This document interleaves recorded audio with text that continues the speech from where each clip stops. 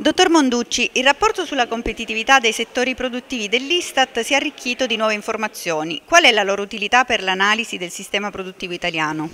Beh, queste nuove informazioni eh, danno conto della complessità della struttura produttiva, delle modalità di internazionalizzazione e quindi migliorano notevolmente la nostra capacità di analisi del sistema globale.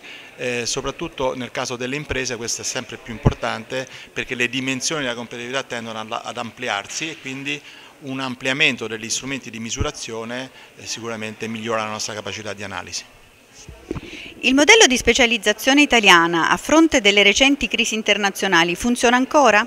Allora, quello che è emerso dal rapporto per quanto riguarda il modello di specializzazione è che effettivamente eh, c'è stato un contributo positivo del nostro mix pro produttivo, quindi l'Italia ha beneficiato rispetto ad altri effetti eh, della specializzazione, quindi in questo caso nella fase proprio di rallentamento ciclico c'è stato un, un effetto positivo proprio dovuto al modello di specializzazione.